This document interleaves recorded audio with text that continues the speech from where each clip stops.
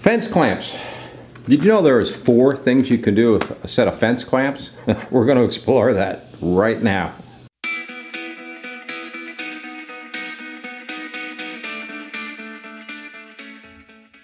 So the number one thing for a fence clamp is to build what we call a zero clearance, which is where the uh, this fence is almost up against this blade. You don't want to damage the fence, so you put a piece of lumber between the fence and that blade. But this piece of lumber needs to be clamped in place. And a regular set of clamps can get into your work, which you don't want.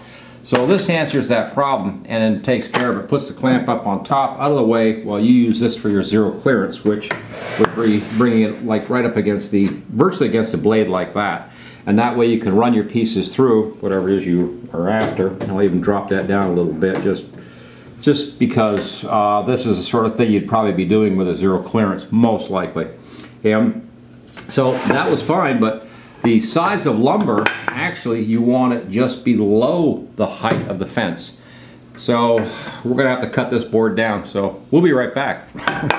I could give you my dimensions, but depending on the height of your fence, you might have a very different situation. But what I did was I took this across the top like this and put it flat against the fence this way and then took in the curve that's in this piece of uh, metal here and went down past the curve to where I was about two and three quarters of an inch. This is uh, about a three inch high fence, so I actually had to go down a little bit. Like I said, the lumber should be lower than the fence just by a little bit in order to clear this so you don't get any uh, strange things going on top here.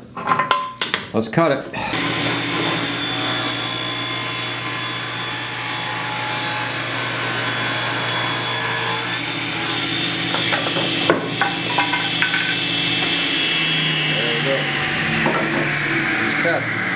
So, so I cut this down so that, as you can see, it's below the height of the fence. And now I'm going to drill a pair of uh, 3 8 holes in the center at each end, which this will drop into in order to help hold this and become our, our zero clearance fence. And uh, it's also destructible, so we can sort of like rub up against the blade a little bit when we run the saw, and then we're all set to run our material through. So now that I've cut my, you can see I've cut my lumber down so it's just below the height of the fence because that way it won't interfere with this little 90 degree corner they've got here. So I can get this flat down and set about right on top of that fence like that. So that's one of the reasons why you're you know, a little lower than the actual fence. Don't make it the same height as the fence because actually it's, well, you won't like it. Now, we got to drill a pair of 3 8 I think it's 3, 3, 6, 3 8 holes so after drilling the holes, uh, I brought the piece of wood over and I put it on against my fence. Could have been a little bit longer, I suppose, but that's quite a bit of, you know, beginning right there where you could uh, run through. Now, obviously, for zero clearance, what we're after, unlock this, and we're, we're basically, we can come right up against the blade now and lock the fence, and uh, we'll even start it a little bit. Hmm, wow pretty cool. All right, and we're gonna bring that down a little bit. Yeah, it's just barely hitting that wood, but it's, you know, the whole, that's the whole idea. It's almost like a sacrificial a little bit. But now if I wanna cut a half of a notch, eighth of an inch up against something like that, I can run it through. Uh, okay, take it down a little bit. yeah, run it through this way.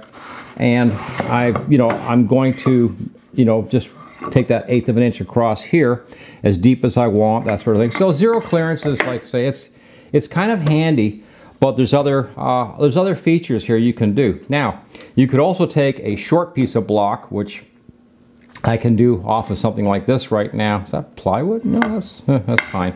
I can take a piece of short piece, put a single hole, put it back here, and act as a stop block for a setup when I'm doing some kind of cross cut where I'm doing a lot of cross cutting and stuff.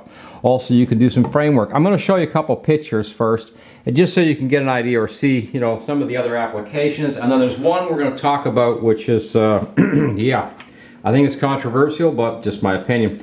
But you can also do uh, 90 degree situation with a clamp where you can put two of these in and create a 90 degree degree clamping type system. Uh, also the blocking, and of course there's other types of blocking you can do with these. So they're, they're handy. There's a lot of different little functions around the wood shop, you know, that they can be pretty good for. And the other thing that was talked to me about, and that's where we're going to get into this.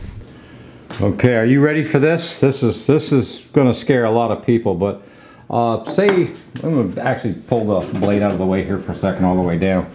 Uh, say you're going to run something through like oh, just like that, and you're worried about uh, kickback. You could put a block of wood like that and set this clamp in it, which all right.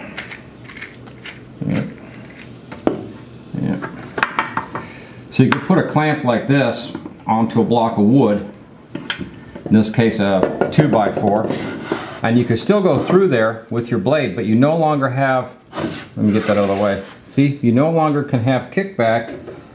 I get my blade up a little bit, and like that, and whatever. And you could go through there, and it would be kind of like a, an anti-kickback block. Now, that to me is a little controversial, so I'm going to ask for some comments on that one. But it is an interesting idea. I just don't know if I would. Uh, I don't know. I you know, and I'm, because of the strength of it, I guess it probably would. It would take quite a bit to knock that out of there. If your clamp is really really tight, God bless, because you know if it gets loose, then you've got that that that everything coming coming your way. I don't know, guys. it was something I was shown, and I was like, I don't know. Hmm. Anyway, there was a nice man who sent in uh, six of these kits, and he said, here's the deal. You keep a kit and keep it for life. It's yours to keep. The other five you can give away to the viewers. So that's pretty cool. And they're uh, Milescraft. They're not the Rockler one. Yeah, the Rockler one's a look is a few more dollars more than these ones. But these are actually, I think they're probably just as, hopefully they're just as good as the uh, Rockler. Anyway, that's what we're going to do. So we're going to do finish a draw, and then we're going to give five of these away to the viewers. Yay! Let's do that. Okay, before I forget, can you, uh, before we get to this next part, can you please click the like button? YouTube measures all the creator content by how many people click the like button, not how many people watch it, or honestly, it's just, it's a little bit demented as far as the algorithm goes, but if they see a lot of likes, then they'll share the video a little more and we can get more viewers and yeah, and in turn, that, that really helps the whole channel out because that helps to pay for the stuff we're giving away. There I am. Last week we set up a, a, uh, AdoreTrip for a giveaway with the tickets here and just do a quick review or show it to you at least. I had a devil of a time getting in this pouch. but yeah, there it is there. And it's a compressor, air compressor, and it's also uh, a jumper for an auto. So it's got two really cool functions, uh, plus a power supply. If you, know, as a lithium type system, you can also, you've got USB uh, plugs over here, so it could be used as a power supply for something else that uh, plugs in with a USB, which I have used here in the shop actually for stuff like that. So that's a, you know, it's a pretty cool little item to have around. And I'll also provide a link for the uh, for this in the uh, description below in case anybody's interested in going and have a look at these things. They are a really nice little unit. They can be charged two different ways. And there's a nice uh, nice man purse that comes with them. so, hey, who gets this? let's find out. We need a bucket. We have the bucket, right? Yeah. Uh, okay. Sponsored for Lowe's, but so we're not doing Lowe's. We'll do do it right on the other side of the bucket. And the tickets. And here goes the tickets. And boom. Oh. Oops, we lost somebody already. Oh, man. All right, so we got all the tickets. We'll stir them up. There isn't a lot this time. There's only uh, less than 50 people that put their name in for this one, so I was kind of surprised. But uh, if this keeps up, uh, we won't be giving anything away anymore. Not at this rate, huh? Can't afford it. The, overhead is just too much over the head, yeah. Okay, so we'll grab a ticket and we'll see who's got this thing who's getting the AdoreTrip and Robert in Pearl River, Louisiana. That's not very far from here, I don't think. Well, according to the zip code, it's uh, it's far enough. Robert in Pearl River, Louisiana. Okay. Robert, you get yourself a uh, yeah, a, AdoreTrip. And congratulations, Robert, and thank you everyone else for entering. Now, next Thursday we got something else, right? So say, hey, hey, hey congratulations, Robert. Now we're going to move on. I'll put that over here. Robert, that will go out today, let's see, Thursday, Friday, probably Monday. It'll probably be on its way to you. In the meantime, we're going to do five come Thursday, okay? So, yeah. You just saw this uh, setup and in this, yep, the fence clamps for your table saw. So we're going to do five of these to viewers that want them. And how do you do that? Well, I'll stand over here like I always do over this side. And right here, uh, you'll be emailing to C and T rewards at gmx.com. Uh, the let's see in the subject line. Let's just do something really easy. Uh, boy, how about just fence? F E N C E, and one entry per household.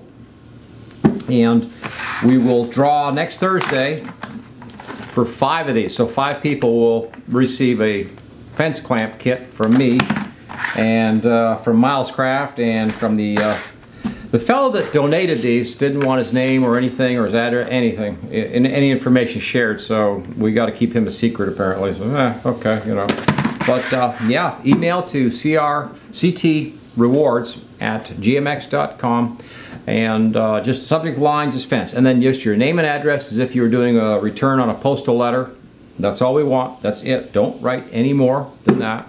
And we'll make up tickets and we'll draw the tickets and some five luckies, lucky people will see if they can get themselves a fence clamp for their uh, table saw and or use the kits for, well, the other things because they're useful around the wood shop and I guess there is other things I've saw that uh, they were being used for like the drill press, you know, stuff like that for holding and making blocking that would hold stuff together. So there was like lots of cool ideas with these things. And uh, hey, it's been, uh, it's about 100 and whatever it is in here today again, so I'm, I'm melting. One entry per household.